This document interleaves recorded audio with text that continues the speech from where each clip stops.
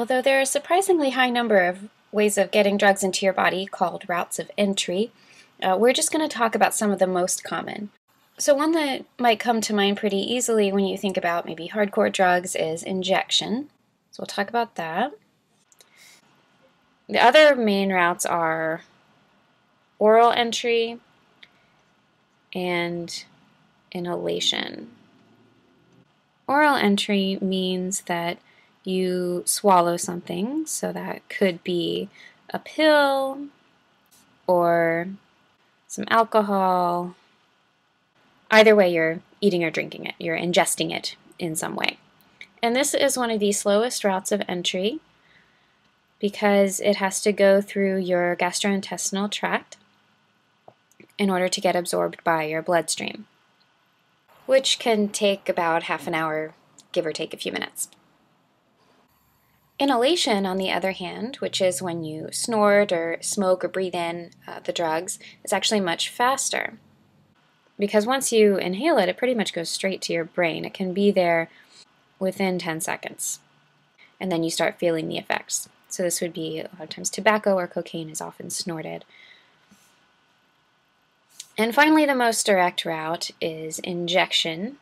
With injection, we're usually talking about intravenous injection, which means it goes right into a blood vein. This begins to take effect within seconds.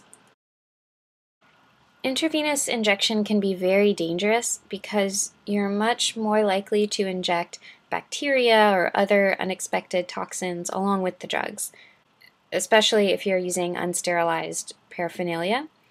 So, if someone else has used the needle before you, then this increases the likelihood you'll be exposed to something harmful, such as HIV.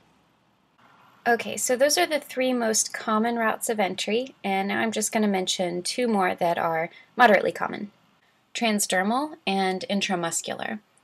Transdermal entry means that the drug is absorbed through the skin.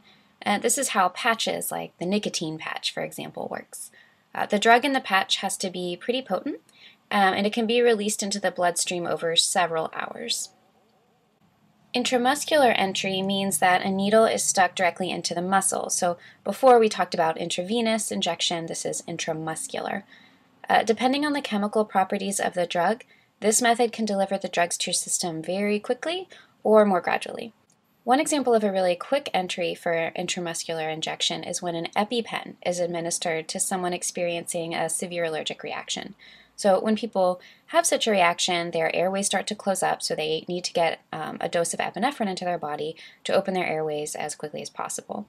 Um, and if you've ever seen or done this, uh, the needle usually goes into a large muscle in your thigh, because studies have shown that to have the most access points to blood vessels, you need to stick it in that particular muscle. So the epinephrine can take effect really quickly. Uh, many vaccines are also administered intramuscularly, which is why your arm gets sore after some shots, like the flu shot or something. And now I've been talking about how fast these different drugs take effect based on the route of entry, which might be clearly relevant in the case of the EpiPen when you're trying to save someone's life. But another important element connected to the rate of absorption is the potential to produce dependence. People are more likely to become dependent on drugs that take effect more quickly. For example, injected drugs have higher addictive potential than pills.